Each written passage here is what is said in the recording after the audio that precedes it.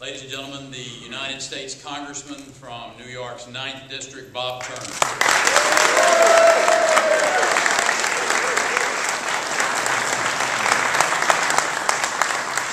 Uh, Thank you. Uh, As you know, uh, I'm the uh, messenger from the uh, uh, Ninth uh, Congressional District.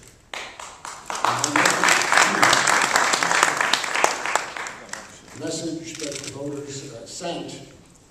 was that this administration has been vacillating and at times even hostile to uh, Israel. Uh, And it is not accepted, and is not acceptable. And if it continues, there will be a very high political price to pay. Message received, whether it's accepted or not, uh, we will soon see. There's another point uh, to this. The Palestinian Authority goes before the UN uh, today or tomorrow and seeks uh, statehood in violation of past agreements, and presents themselves as a partner for peace while they permit terrorism and a base for rocket attacks. Clearly, we know this is unacceptable. Whether the UN will is another matter. Yet, we can support the UN. We support the Palestinian Authority through direct aid. And I would say there's another message here that that can't continue. We have to use our strength and the truth to fight these things. Our foreign policy doesn't have to be very complex. A strong military, adherence to the truth, and an acknowledgement of who our friends are and the values of democracy and freedom. Case closed, simple, to the point. We do that, we can have a closer chance of getting peace than anything else we're doing. Before I depart, uh, during this campaign, I received a good deal of help from people like Ed Koch and someone else who I'd like to introduce you to, who has a message that's been very helpful and important to me, Dov Hikind.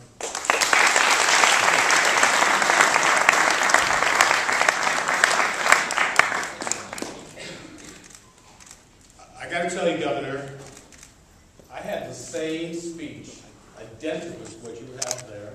Everything that you said makes sense. I believe in it, and I think Americans with good sense believe in what your message was today. Let me just uh, reiterate. I mean, I was out there in the streets for Bob Turner. By the way, I'm a Democrat, and a very, and a very proud one but not a blind one, not a knee-jerk Democrat. The Ninth District, Brooklyn and Queens, being out in the streets, talking to thousands of people, being at polls, meeting people who said to me on election day, I have never voted for a Republican before. The message in the Ninth District is a very clear one, and it should be crystal clear to the White House. We don't like your policy on Israel.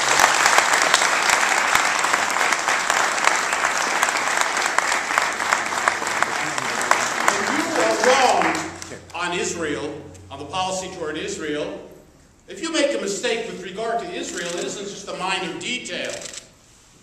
Israel is faced with rockets, Qassam rockets, mortars, Grad missiles from the north, from the south. I've had the experience of running from a Qassam rocket one Shabbos morning in Sderot. The people of Israel, the population of Israel is faced with daily threats. The threats from Iran. Those are real. We're not facing those threats. The threats now from Egypt, where things have suddenly changed completely, and everyone is worried, even this White House is worried.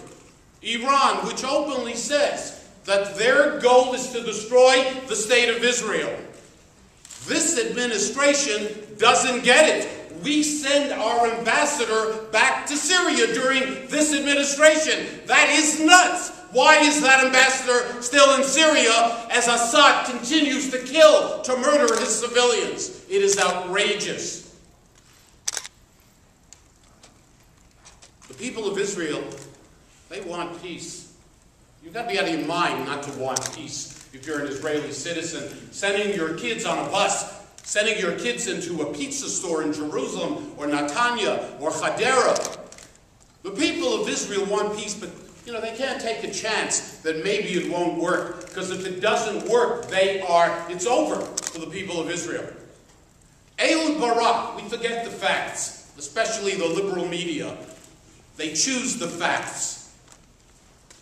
Ehud Barak, you remember that guy? He was the prime minister of Israel at one time.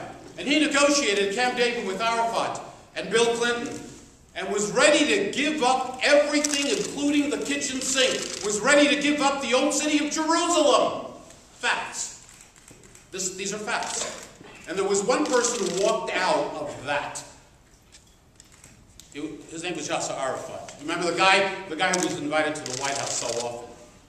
And then when Ehud Olmert was the prime minister of Israel, negotiating with this gentleman Mahmoud Abbas, he offered everything, and the Prime Minister of Israel, nuts, was prepared to internationalize the old city of Jerusalem. Those are public facts. Mahmoud Abbas, the moderate Palestinian leader, walked away from those negotiations. The people of America, we're in a very difficult situation. There are many, many issues. And I'm concerned about all the issues, but you can't be right on everything and wrong on Israel. We will not support you if you're wrong on Israel and your relationship to Israel. I think the American people need change they can believe in. That's what it's all about. Now, I'm not endorsing anyone today. You've, you know, and I see it almost beyond the pale to support Barack Obama, having watched him these past three years. But I like what I heard today, both publicly from the governor, who has a record of friendship to the people of Israel, way before he ever thought of running for president. Saw your article in the Wall Street Journal, and I said, that sounds like me. Those don't sound like the speeches I've been making for years. Those sound like a man who really understands the situation the people of Israel are confronted with, they want peace. The people of Israel are prepared to make concessions. Every poll indicates that. But they don't want to commit suicide. So, Governor, what you said publicly and what you said privately upstairs, God bless you. And for today, I wish you all the luck in the world. Thank you very much.